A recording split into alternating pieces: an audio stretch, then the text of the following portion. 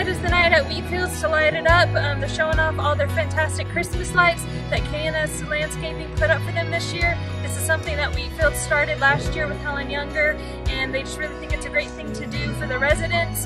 Um, Kale Jesko with K&S um, has contributed a lot of his time, donated a lot of his supplies and lights, and then there's a bunch of people who have donated back here on this sign. Um, if you want to drive by and check that out, and Kale kind of, if someone once loved these lights and they want to put it on their own house, you know, kind of, what do you have to say about that?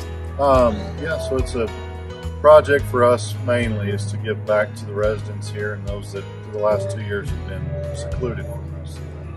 Um, an opportunity for us to give back to them, as God knows they've given to us and to our community for years. And uh, as far as the lights go, it, it's a fun project for us and a way to showcase kind of what we do know for us residential, commercial, permanent lighting, landscape lighting.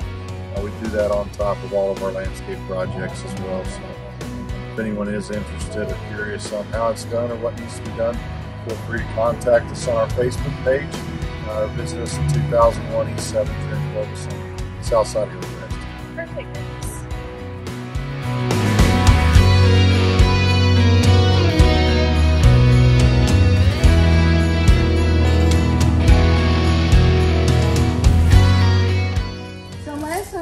Here, Colby, do you remember what it looked like? There wasn't lights for sure, so it it became light. So how did this come about, Helen? Well, thanks to Kale and his great lighting crew setting the lights up for us, we put them on the ground first and realized that the residents can't see them on the ground. So we decided we have to add lights all along the fence here. And then they need something for entertainment, so Tractor Supply generously donated these little lighted goats and the little chickens, and I just love them. That's so And cool. not only me, but the residents love them. And Bill Vetterly was so gracious to make us with some extra snowmen this year. So we have fun things, and these people absolutely love them. Well, And so my hat's off to Tractor Supply and all those folks Sure. that were kind enough to donate us these wonderful things and help these people have a wonderful Christmas. Bring some light to their life, and it definitely right. has. That's it's right. nice and pretty out here. Since the focus of Christmas is on the birth of Christ, I wanted to show off this beautiful nativity scene that Rocky Marks made for us. And the residents can see it outside the dining room while they enjoy their meals. And they love it. And I love it. Just putting it together, seeing it gave me goosebumps. I want to remember the birth of Christ and um, give him praise. And so, thank you to all the community for the money that you've donated and helping us with your support for the residents of Wheatfields to make their Christmas special. We really appreciate your donations and your well wishes for the residents, greetings, driving by tonight, and um, doing a social distance greeting for them. Thank you very much. So Helen, we're on the other side of memory care, and this side's all lit up as well.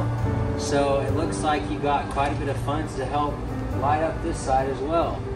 Yes, Going going forward, uh, I know you want to keep on continuing to expand this project. You started this last year, and you got you covered the main building, and then this year you've added the lights and memory care, as well as on to the building a little bit more. So going forward, what would you like to hopefully do uh, next year? It'd be terrific if we could bring the lights, extend them to the north end of the building and all the way across the front of memory care on the exterior. That'd be terrific. So this is just not a one-year project. So um, if you'd like to donate, it's still there's still time to donate. It'll go towards next year's lights and uh, help bring light to you know all these residents and this time where they don't have much light in their life. So What do you think? Is it like Merry Christmas light up Wheatfields time? Oh, definitely. The community is so beautiful and it's twice what it was last year. It's really brought joy to all the residents. They talk about it during the day. It's it's wonderful. I think that Kale and his guys once again did a fantastic job, don't you? Oh, without a doubt. And all the donors, can you believe it? Oh, it's amazing. It just shows you what a community that we live in and how caring they are. I agree with you. And I'm really tickled to be part of this and this community. Me too. It's me a pretty too. good place, isn't it? It is. Call home. It definitely is. It's a great place for the residents to live and for us to work in. Mm-hmm. So Merry Christmas. Merry Christmas to you. And Merry Christmas to the community. That's right. And thank you again to all the donors. This wouldn't be possible without you. You know, Clovis Sign actually made this wonderful sign for us with the donors' names at the last minute. And I thought they did a fantastic this afternoon and saw it and was just proud. It's beautiful. I like the Santa train, don't you? Do And also, thank you, American Heritage Bank, for promoting this for us and helping us with your beautiful videos. And these two wonderful people called Colby and Marissa, they come here and film this for us. We appreciate you.